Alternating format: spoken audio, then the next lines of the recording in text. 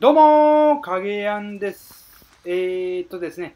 これからね、こう野菜たちをね、こう育てていく、こう秋に向かって、こう向かってというかもう秋になってるんでしょうけどね、暦の上ではですね、えー、どう育っていくかっていうのがすごく楽しみやなというところです。で、このね、庭のこの形というか、こういうのをこう整理整頓してくれてるのが親父なんでね、えー、親父にも感謝したいかなというふうに思っております。えー、ほんで、美味しい野菜をね、こう食べて、こう健康になっていきたいなというふうに思ってます。非常に楽しみです。ということで今日は以上です。ありがとうございます。